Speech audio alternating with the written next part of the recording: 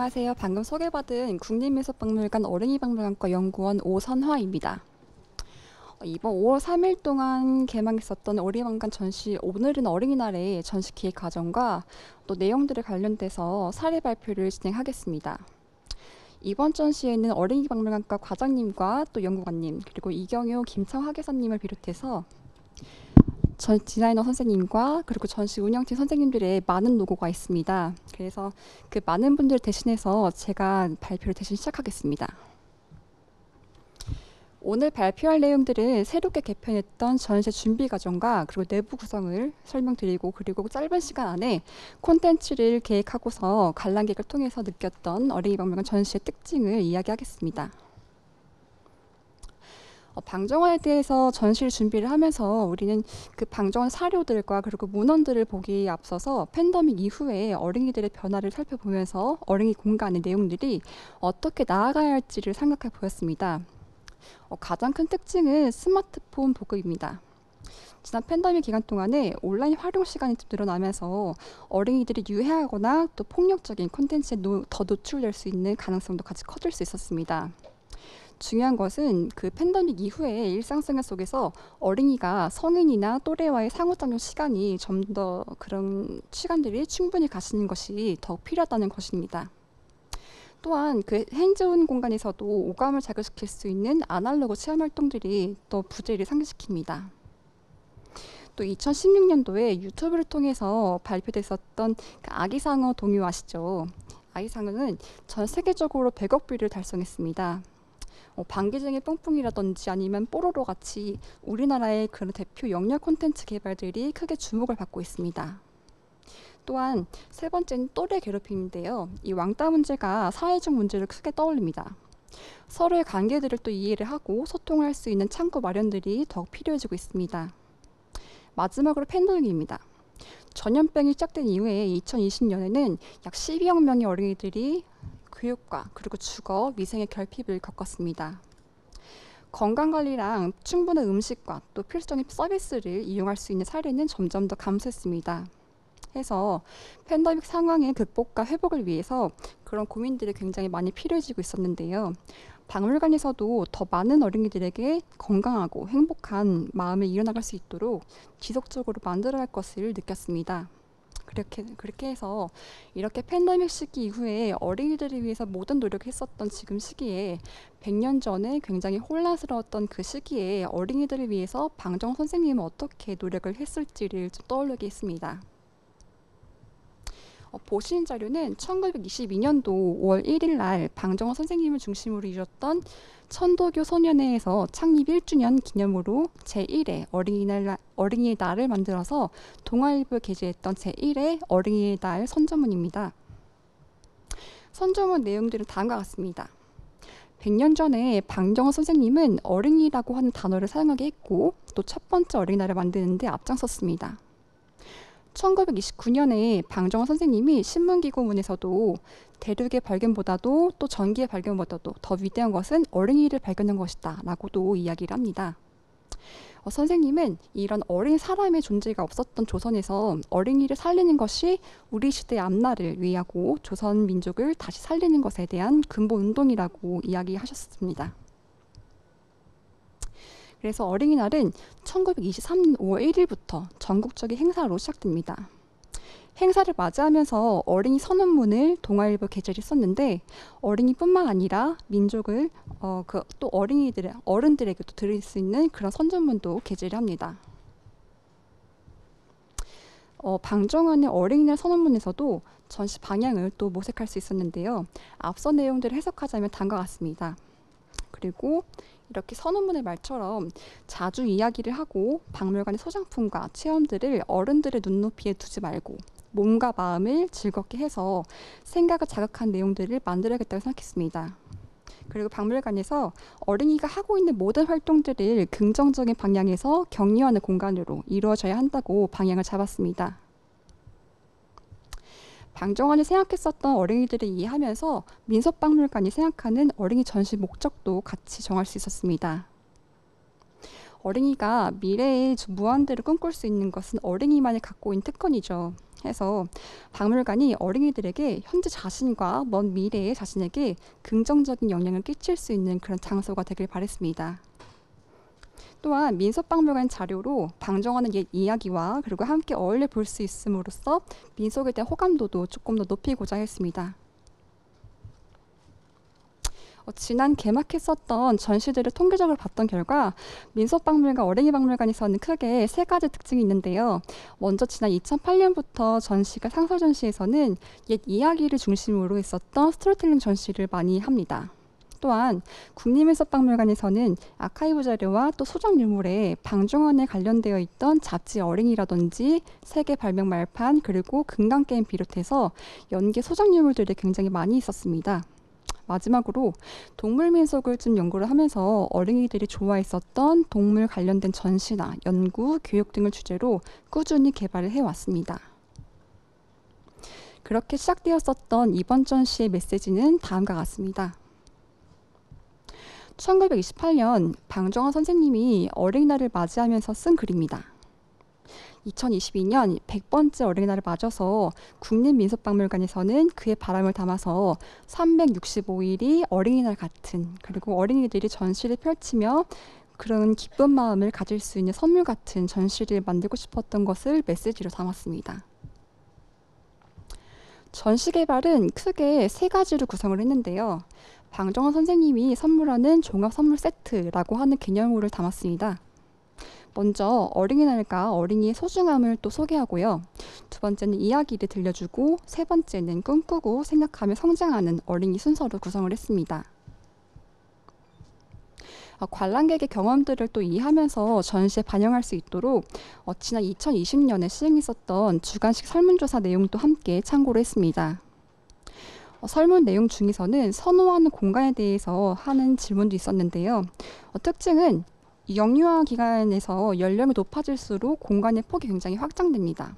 특히 4세에서 7세 사이 어린이들이 가장 선호했던 공간들은 워터파크라든지 뭐 놀이동산, 놀이터 같이 몸을 쓸 수 있는 공간들을 가장 많이 선호했으며 또 8세에서 9세까지는 나만의 그런 공간들과 함께 놀이 공간도 여전히 선호를 하면서 동시에 내방, 아지트 이런 개념들이 크게 증가합니다.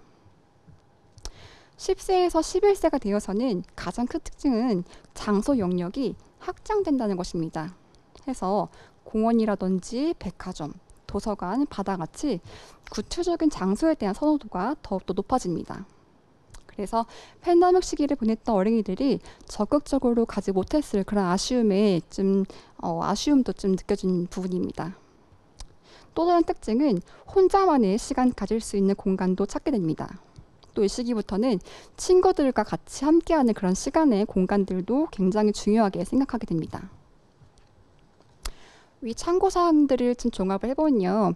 4세부터 9세까지의 타겟으로는 자발적으로 신체 활동에 참여를 하고 이야기와 또 박물관 자료를 활용할 수 있는 재미있는 체험들을 하면서 동시에 박물관에 관심을 가지고 또 즐겁게 즐길 수 있는 능력을 기르도록 했습니다.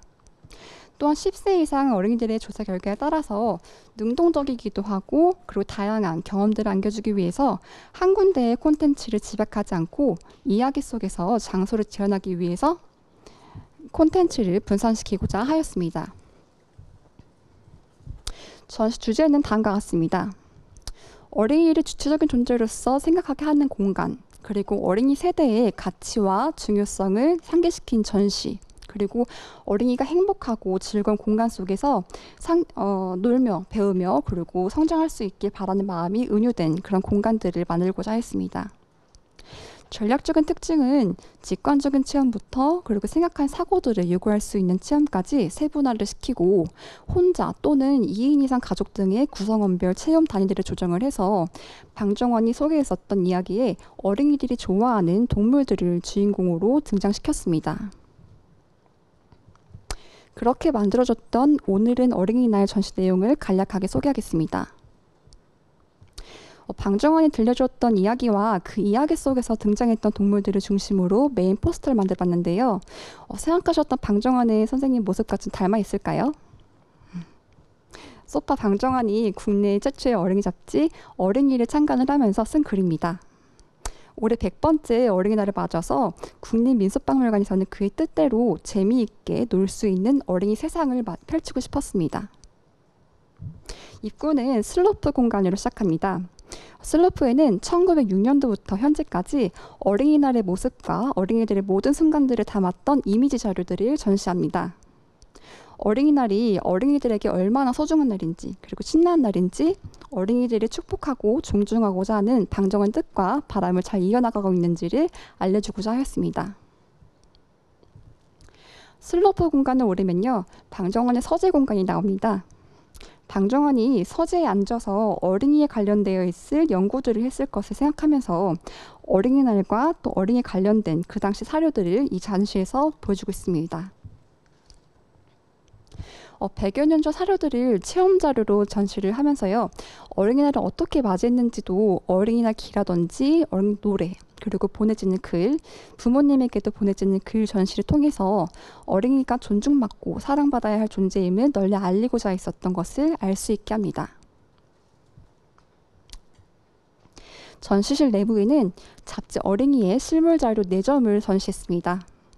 잡지 어린이에서는 소파 방정호 선생님이 어린이들을 위해서 발간했었던 월간 아동 잡지로 어, 이곳에 수록했었던 놀이라든지 노래들을 전시 활용하기에 전 더욱 의미 있는 자료를 보고 있습니다.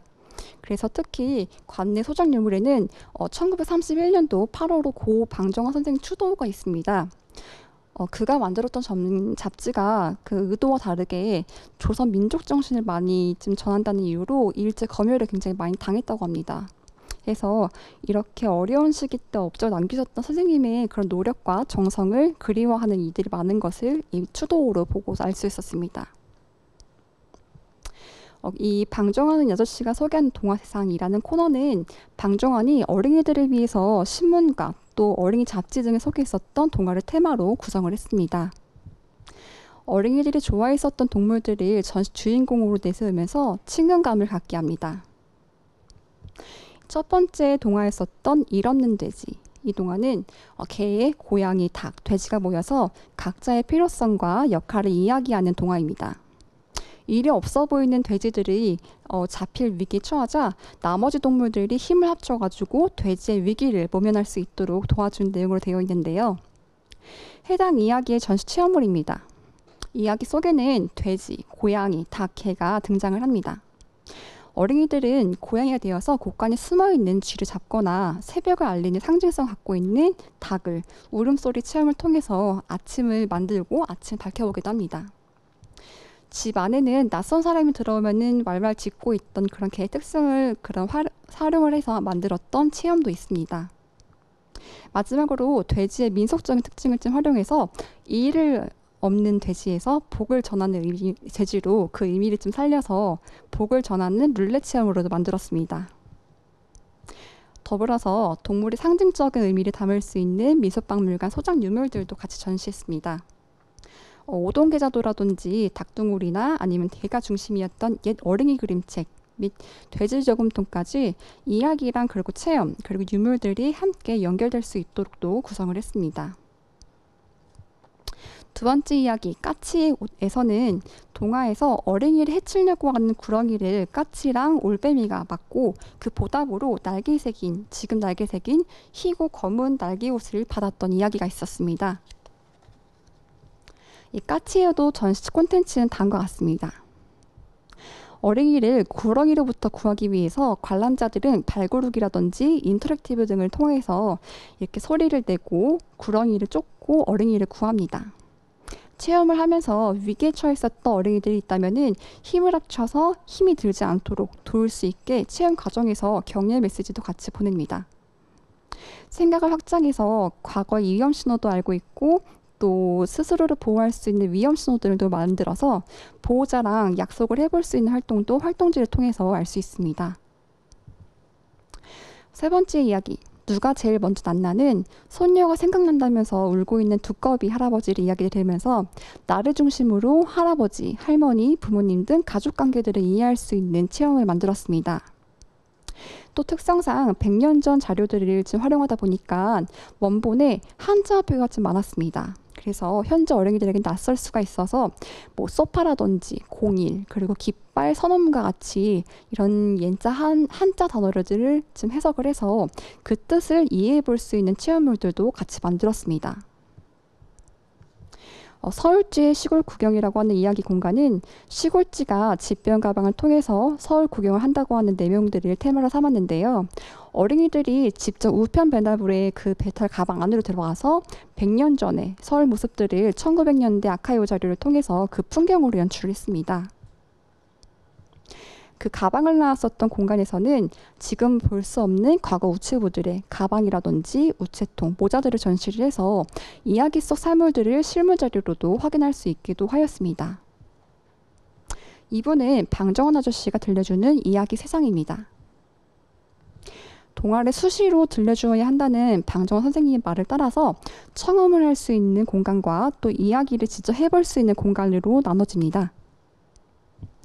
노래 주머니 속에 있는 이야기 코너 도깨비 선택은 혹에 달려 있는 두 사람의 대사를 각각 듣고서 내가 도깨비라면은 어떤 사람에게 어떤 말을 한 사람에게 벌을 주고 싶은지 혹을 붙이고 싶은지 그것을 판단하는 체험입니다. 노래 주머니는 혹부리 영감 등 제, 제목도 굉장히 변이가 많습니다. 하지만 이 버전에서는 특히 소년들을 때리지 말아라. 어린 사람들의 물건을 넘보고 뺏지 말아라 하고 하는 이야기가 담겨 있어서 방정호 선생님이 동극을 만드실 때 이런 존중의 메시지를 같이 투영하지 않았나 싶습니다. 방정환 선생님의 30대 나이로 일찍 생을 마감했었다고 알고 있는데요. 어, 방정환 선생님이 살아계셨을 때 어린이들에게 낭독을 하면은 어떤 느낌일지를 상상, 상상을 해보면서 30대 아저씨의 그런 목소리로 두 이야기 코너를 낭독하는 코너도 같이 마련을 했습니다. 어, 방정환이 큰 관심을 갖고서 제작했었던 게임판이자 그리고 1929년 2월 후 어린이의 부록으로 제공되었던 다이아몬드 게임인 금강 게임의 원본도 같이 함께 조, 공개했습니다. 어, 이 전시물을 처음 공개했었던 건데요. 이 공간에서 닭, 그리고 고양이, 두꺼비 모양으로 되어 있었던 대형말을 사용을 해서 어린이들이 금강 게임을 체험할 수 있게 하는 공간도 같이 마련되어 있습니다. 또 다른 체험판이었었던 게임판 세계 발명 말판은 일종의 보드게임으로 시계, 자동차, 라디오 등 세상을 바꿨던 발명품들이 소개되어 있습니다. 어, 이런 컬러 말판을 만드는 데는 잡지가 한 7,400여 원 정도 해당나는 그런 돈을 많이 쓰기도 했다고 합니다. 100년 전에 방정원 선생님은 말판에서 비행기의 발명가 라이트 형제를 소개합니다. 또 어린이들에게 달나라 구경이라고 하는 이야기도 같이 소개했습니다. 게임 말판 내용들과 방정원 선생님 들려줬던 이야기가 꿈에서 비행기를 타고서 달나라를 갔다 왔다는 달나라 구경 이야기와 내용을 결합을 해서 모형 비행기를 타고서 조작을 하면서 달나라를 탐험해 보도록도 하였습니다. 해서 옛날부터는 달이라는 것이 굉장히 소원을 많이 들어줄 수 있는 신비의 대상으로 여겼던, 여겨졌던 점에 주목을 해서 관내 민속 자료 중에서도 뭐 천문도병이라든지 가사나 문자도 경직도 같이 그 속에 등장했었던 달을 중심으로 비행기 안에 있는 영상들을 보여주면서 유물들도 같이 관찰할 수 있게도 만들었습니다. 또 발명말판에서 멀리 보이지 않는 사람에게 목소리를 전할 수 있는 방법을 연구해서 전화기를 발명하고 또 특허로 냈었던 벨을 소개합니다. 그 후에 전화기가 어떻게 발전되고 있는지 여러 가지 전화기들을 시대별로 살펴보고 어린이들이 과거부터 현재까지 자료들을 탐색한 뒤에 앞으로 소통 방식에 대해서 생각하고 발평, 아, 발명을 해볼 수 있는 나도 발명가 코너를 같이 만들었습니다. 100년 어, 전 어린이날로 돌아가서 친구들과 운동회를 해보자고 한 취지로 만들어진 공간입니다. 대운동의 말판 속에 있는 운동의 내용들을 직접 체험해보고 있는 신체 활동으로 이루어져 있습니다.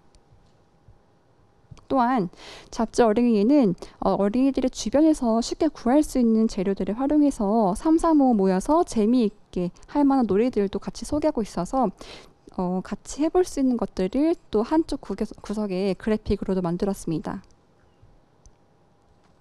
이렇게 개막 직후에 운영 중이었던 전시 현장에서도 어, 관람자분들을 좀 대상으로 전시에 대한 그런 조사를 해봤었는데요. 개막 후에 좀 안정화되지 않았었던 상황들도 있었고 표본들이 많이 모이지 않았던 조사입니다만 어, 저희가 1년 11개월 동안 할 수 있는 그런 전시인 만큼 앞으로도 또 지속적으로 조사 만족도 체크를 실시해서 반성도 하고 또 나은 개선들도 할 수 있도록 기초 자료를 도출하고자 합니다. 전체 연령을 대상으로 했었던 콘텐츠에 대한 평균 만족도는 무려 81%로 측정되었습니다. 몇 가지 지원들은 그 응답자 전체가 인상적이었다라고 대답한 그런 체험도 있었습니다. 다시 연령대별로 비교를 하자면요. 3세 이상에서는 방정환 캐릭터가 이야기했었던 애니메이션 형태의 인트로와 그리고 만들기 코너를 굉장히 많이 선호를 했었고 특히 4세에서는 반복적인 신체 활동을 통해서 영상 속의 동물 모습들이 변화하는 그런 체험들에도 호기심을 가지고 있습니다. 어, 5세에서 7세 사이의 어린이들의 퀴즈에서는 그 어, 정답을 맞추면은 자판기에서 전시실 안에 있는 안내도가 출력되어서 가질 수 있는 체험의 흥미로움을 느낍니다. 어린아이를 구하자는 사명감을 안겨주면서 바닥에 있는 영상들을 맞추면서 문제를 해결할 수 있는 인터랙티브에서도 높은 흥미를 보이면서 몸으로 뛰고 있는 체험들을 선호함을 재확인하였습니다. 또한 5세 이상 어린이들의 동반 보호자에게는 생소한 단어 뜻이라든지 낱말과 문장들을 들려줄 수 있고 이해할 수 있는 체험들에도 선호도가 높았습니다. 또 다른 조사에서는 100번째 어, 어린이날을 맞아서 관람객들이 방정환 아저씨에게 편지를 보내는 코너가 있었습니다. 해서 요즘 어린이들에게 방정환과 어린이날은 알고 있어도 방정환이 어린이란 단어랑 또는 어린이날을 만들었다라고 하는 것을 알기 어려워한다는 초등학교 선생님의 자문의 결과가 있었기 때문에 저희가 방정환 중심이 나왔던 이 전시에서 어린이들이 방정환과 또 어린이날을 얼마나 알게 되었는지를 파악하고 싶었습니다. 해서 나왔던 말 중에 인상 깊었던 것은 뭐 선생님 덕분에 저희가 존중받게 되었어요 라든지 어린이날을 만들어주셔서 감사해요 같은 그런 전시를 통해서 두 관계가 잘 알게 되었다는 어린이가 많아졌음을 파악할 수 있었습니다. 발명가 코너 인터뷰를 하면서 전시물 내용들도 이해를 하고 또 해당 코너에 참여하고 있는지를 잘 알고 있, 는지를 궁금해서 그 만들고 있는 어린이들에게 직접 물어봤습니다. 했더니 대부분의 어린이가 전시 전화기를 또 소개하고 있는 발명 말판들을 보고서 어린 체험자는 동반 보호자의 그런 조력을 받고 역대 전화기 변천사를 또 관찰을 하고 새로운 전화기를 열심히 발명 중인 것으로 보입니다. 그래서 전시를 통해서 느꼈던 점은 어, 대부분 박물관 전시물을 통해서 박물관과 방정환 어린이날을 재미있게 알아간다는 점입니다. 요즘 시대에 많은 이야기에 노출돼 있음에도 불구하고 100년 전에는 방정 선생님은 또 새로운 이야기를 가져오셔서 놀이도 또 새로운 놀이를 갖고 와서 준비되었었다는 점에 지금 보아도 그분이 어린이에 대한 사랑과 존경을 존경을 느낄 수 있음을 알게 되었습니다. 지금까지 민속박물관, 어린이박물관 전시 사례를 발표했는데요. 어, 다양한 체험을 통해서 공감을 주는 공간을 위해서 그 내용 속에 어린이의 눈높이와 또 콘텐츠 내용 자체에 대한 고민 그리고 어린이의 미래를 늘 생각해야 한다는 것으로 제안을 드리고 싶습니다. 마지막으로 이번 100번째 어린이날을 맞아서 우리나라 어린이 관련된 기관에서 공동으로 선언했었던 어린이날 선언문입니다. 100년 전에나 지금에나 세상이 변해도 어린이를 아끼고 또 지켜야 한다는 마음들이 계속 이어져 나가야 할 것입니다. 해서 이 내용문은 어린이 박물관에 애정이 있는 모든 분들과 함께 공유하고 싶습니다. 감사합니다. 네, 안녕하세요. 방금 소개받은 경기문화재단 최혜경입니다. 네, 공간이 주는 경험, 경험을 통한 공감이라는 주제로 토론문을 준비하였고 준비한 토론문을 읽으면서 토론하도록 하겠습니다. 우리는 갑작스러운 팬데믹을 겪으면서 전원의 시대를 맞이하고 있습니다. 팬데믹 이전부터 이야기되어 오던 것들이 팬데믹을 통해 가속도를 갖고 우리 사회를 전환의 시대로 몰아넣었습니다. 새로운 시대를 준비하고 맞이하면서 처음을 챙겨본다는 것은 의미 있는 일일 것이라고 생각됩니다. 어린이에 대해서도 마찬가지일 것입니다. 우리 사회에서 어린이를 처음 들여다보고 이야기한 사례들을 찾아보고 그것의 맥락과 의미를 살펴보는 것은 전환의 시대를 맞아 우리들이 앞으로 나아가기 위한 가장 기초적인 행위일 것입니다. 이런 의미에서 국립민속박물관 어린이박물관이 팬데믹의 끝을 바라보는 이 시점에 오늘은 어린이날 전을 기획하고 운영하는 것은 매우 의미 깊은 일이라고 여겨집니다. 방정환이 1920년대 선구적 해안으로 바라본 어린이에 대한 생각들을 시작점에 두고 오늘날 어린이들의 발달과 선호도를 기반으로 구성된 오늘은 어린이날 전은 어린이에 대한 이해와 앞으로 어린이들을 위한 다양한 활동들을 기획하고 운영하는데 좋은 밑그림이 될 수 있을 것이라고 기대합니다. 오늘날 curating은 커뮤니케이션 기술을 기반으로 단순히 전시나 행사를 기획하는 것이 아닌 여러 관계자들 간의 소통 채널을 만들고 유지하려는 노력을 통해 사회적 관계가 성립되도록 설득하는 것을 의미합니다. 이러한 맥락에서 오늘은 어린이날 전은 어린이들의 공간 선호도를 기반으로 다양한 컨텐츠를 제공하고 이에 대한 피드백을 통해 성인과 어린이들 간의 원활한 소통 채널을 만들기 위한 자료를 확보했다고 할 수 있을 것입니다.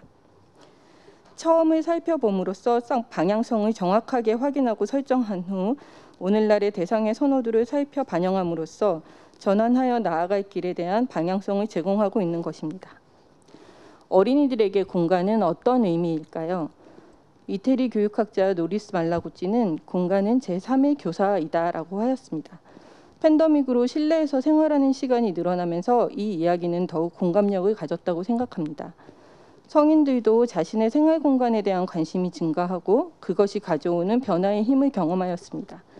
모든 것을 스펀지가 물을 흡수하는 것처럼 흡수하고 자기화하는 어린이들에게 그 의미는 더욱 클 것입니다. 이태리 레지오 에밀리아 지역에서 시작된 교육 철학이자 교육학인 레지오 에밀리아의 접근법에서 어린이들을 위한 공간은 보다 부드럽고 덜 경직되며 경험의 불확정성에 대해 보다 개방적이라고 정의하고 있습니다. 이러한 개념의 실천을 위해 그들은 첫 번째로 관계적 공간을 제안하고 있습니다. 관계적 공간은 보고, 읽고, 조사하고, 현실을 해석하고, 비판적인 인식에서 표상하는 방법에서 비판적인 인식에서 표상하는 방법에서 온 것으로 정보가 풍부한 환경적 조직입니다.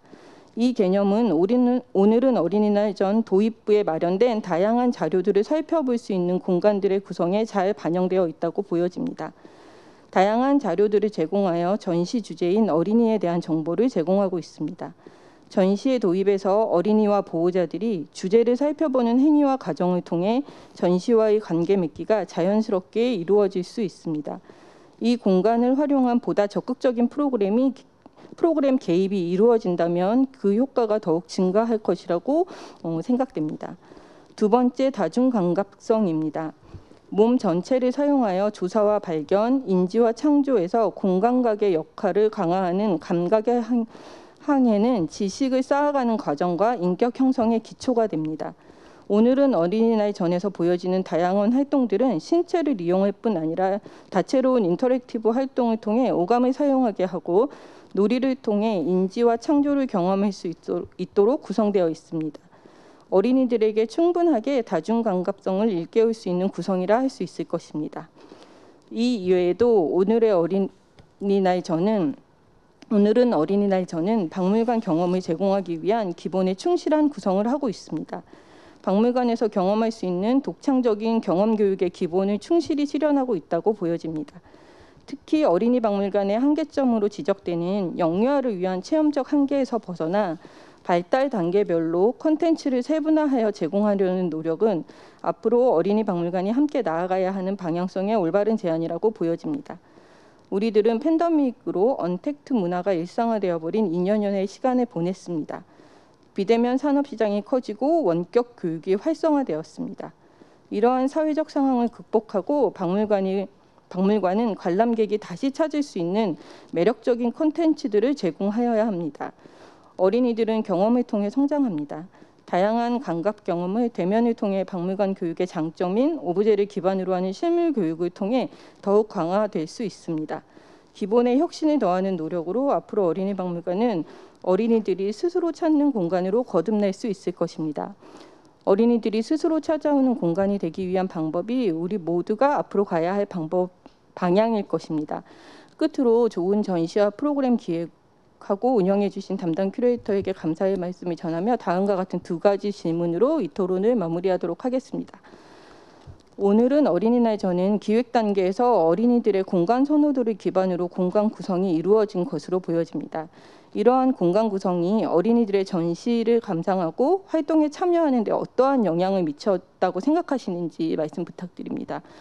기획에서 발달 단계별로 콘텐츠를 기획하고 구성하셨는데 그러한 기획이 대상층에 잘 소구되었는지 궁금합니다. 특히 보편적으로 10대 초반 어린이들이 영유아들과 한 공간에서 활동하는 것에 대한 기본적인 거부감을 보이는 것으로 관찰되는데 이 부분을 상쇄시키는 것에 효과가 있었는지도 궁금합니다. 네, 이상 토론 마치도록 하겠습니다. 아, 네. 질문 주셔서 감사합니다. 어, 일단은 크게 두 가지 질문 해 주셨는데요.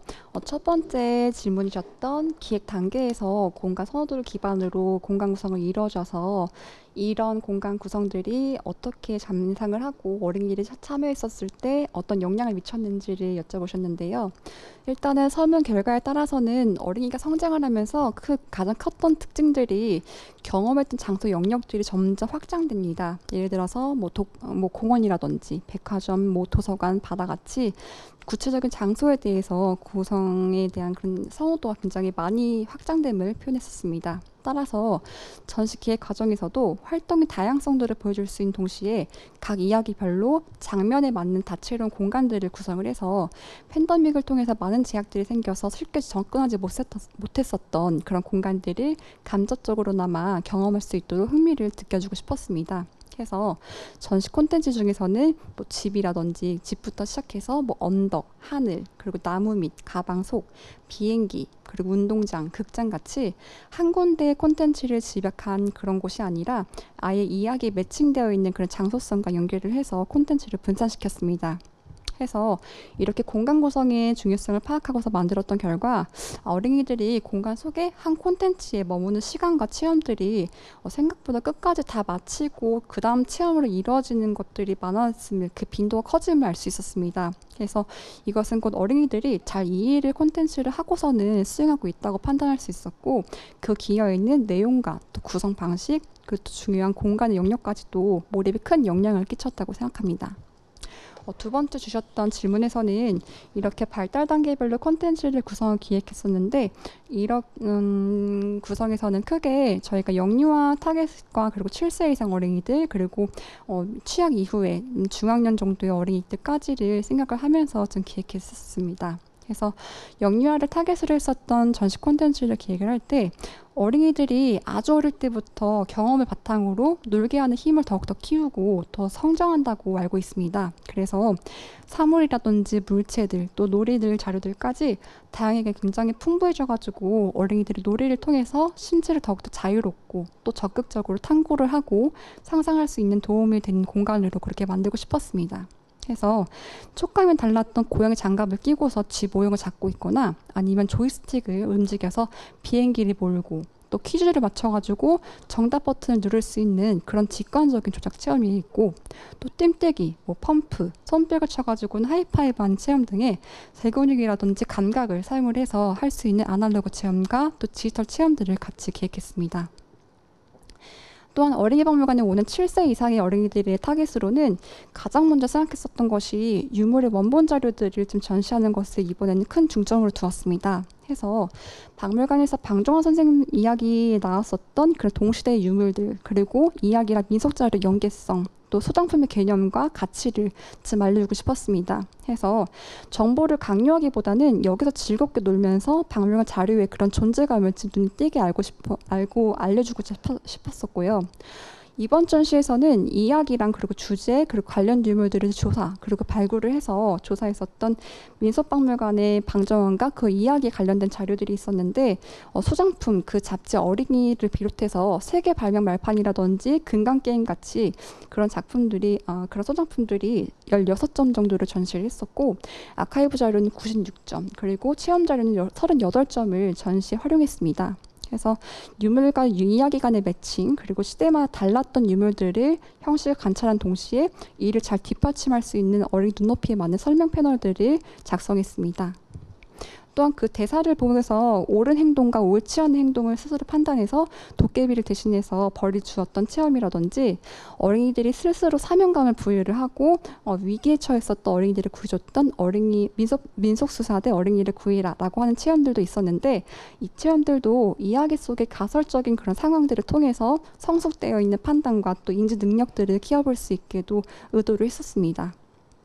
또 하지만 이게 흥미롭게도 저희가 의도를 한 대로 다 나오진 않습니다. 해서 하나의 콘텐츠도 원래는 이게 미취학 어린이들을 대상으로 했었지만 이게 또 초등학교 이상의 어린이들이 새로운 룰을 만들어가지고 또 재미있게 노는 경우도 있었습니다. 그래서 같은 전시물이라도 어린이의 발달적인 특징들을 좀 고려를 해서 설계했던 박물관 교육이 필수적으로 같이 실행된다면은 전시물 이해와 전시의 지향점들을 같이 이해할 수 있지 않을까 생각했습니다.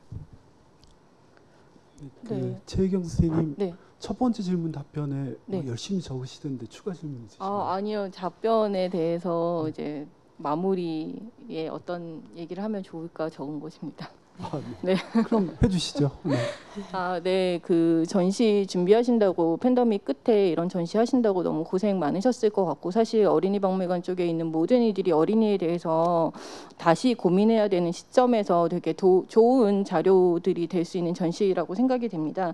특히 이렇게 좀 호흡이 긴 전시가 많지 않잖아요. 현장에서. 그래서 이렇게 긴 호흡을 아까 발표 중간에도 말씀하셨다시피 호흡이 기니까 많은 자료들을 이제 관람객들로부터 도출할 수 있을 것이라 기대한다라고 말씀하셨던 것처럼 어, 이 전시를 통해서 수집된 관람객들 자료들이 좀 정리되고 공개되어서 앞으로 어린이 전시를 기획하는 데 많은 도움 자료가 됐으면 좋겠다는 생각을 하면서 토론 마치도록 하겠습니다.